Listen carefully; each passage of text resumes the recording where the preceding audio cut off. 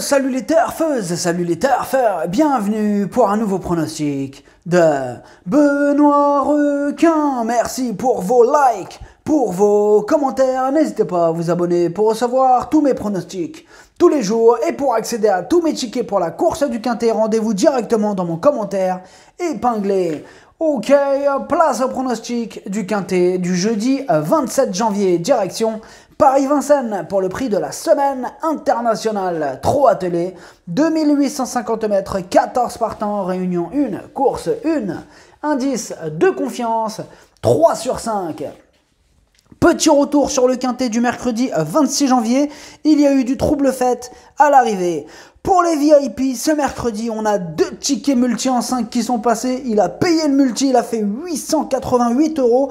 On en a chopé deux, ça fait plaisir. Mais c'est pas fini, hein. on a aussi chopé ce mercredi un ticket tiercé dans l'ordre. Il a fait 238 euros. Ah, lui aussi, il a fait plaisir. On a aussi du couplet, du 2 sur 4.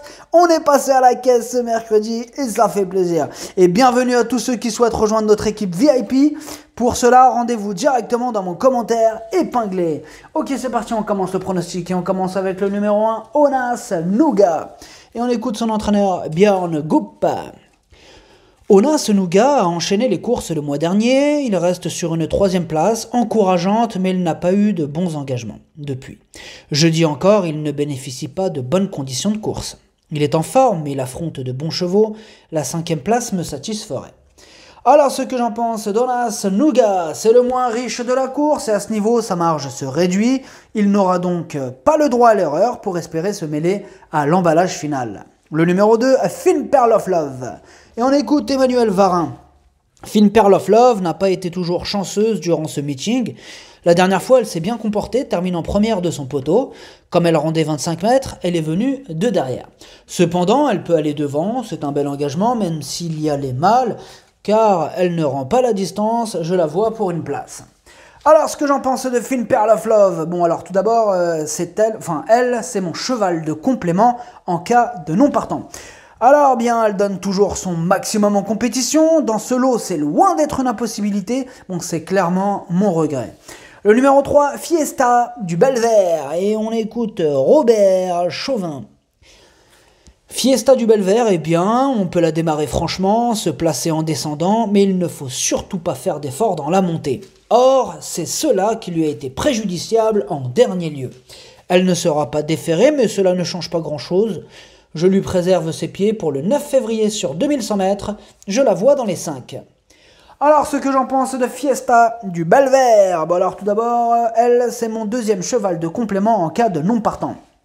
Eh bien, Fiesta du Belvert, elle reste sur un échec, elle a le défaut de ne pas toujours répéter ses bonnes sorties, elle va devoir montrer un tout autre visage pour espérer terminer dans la bonne combinaison. Le numéro 4, Fakir du Mahé. Et on écoute Mathieu Mautier. Fakir de Mahé est arrivé à l'écurie depuis un mois et demi. Il paraît bien, mais il a désormais des gains. J'ai eu l'occasion de le mener au succès cet été, mais dans un lot moins relevé en province. Jeudi, il découvre un engagement correct, mais j'ai besoin de le juger. La cinquième, voire la quatrième place, reste à sa portée. Alors, ce que j'en pense de Fakir, de Maé, on ne l'a pas revu hein, depuis sa disqualification le 6 décembre et au niveau inférieur. Bon, il avait pourtant déjà prouvé sa compétitivité et au niveau qui nous intéresse, mais il y a quand même quelques doutes qui planent sur sa candidature. Le numéro 5, Foxtrot, Noblesse. On écoute André Le Courtois. Foxtrot Noblesse est régulier et brave. En outre, il a déjà très bien couru deux fois durant ce meeting d'hiver.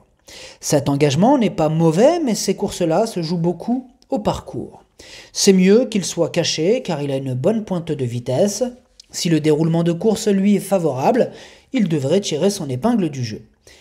Alors, ce que j'en pense de Foxtrot Noblesse, il est en forme, il est archi régulier, il fait quasiment l'arrivée de toutes ses courses, et une fois de plus, il va tout donner. Mieux vaut donc ne pas le sous-estimer. Le numéro 6, Everest Vedake. Et on écoute Hank Grift. Everest Vedake évolue en bonne forme et répète ses courses en Hollande. Je le défère des quatre pieds, ainsi il est vraiment à son affaire. Il doit affronter une opposition redoutable et on va tenter d'accrocher une petite place. S'il termine dans le quintet, je serai déjà pleinement satisfait. Je viens surtout pour Garuda Flini. Alors, ce que j'en pense d'Everest Vedake, bah, il a du mal à briller quand il se produit en France, et en plus il se produit au niveau inférieur, là, on demande à voir. Le numéro 7, Voyage d'amour, et on écoute Mike Linders. Voyage d'amour est monté en condition. La dernière fois, c'était un peu trop rapproché par rapport à sa tentative précédente. Donc, elle a manqué un peu de fraîcheur. Là, elle a eu le temps de récupérer, elle est beaucoup mieux au travail. Sur les longues distances, c'est mieux d'attendre. Si cela se passe bien, j'y compte. Alors, ce que j'en pense de Voyage d'amour En 8 associations avec Franck Niva, 8 fois elle a terminé à l'arrivée. Il est aussi confirmé à ce niveau, il peut faire mal. Le numéro 8, Escapade, et on écoute Jacques Bruno. Escapade a été menée de façon un peu trop offensive en dernier lieu, mais elle n'a pas démérité.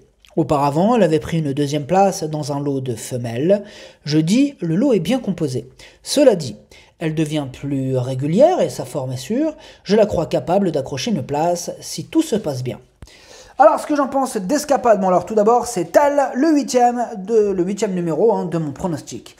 Eh bien, Escapade, en effet, c'est vrai, avec le temps, bah, elle s'est beaucoup assagie, elle a fait ses preuves aussi à ce niveau, et elle garde, logiquement, son mot à dire. Le numéro 9, Ingo. Et on écoute Christopher Eriksson. Ingo avait enchaîné les courses en décembre tout en répondant présent à chaque fois. Je lui ai laissé le temps de reprendre un peu de fraîcheur, il y a dix jours, il a effectué un gros travail, il était très bien.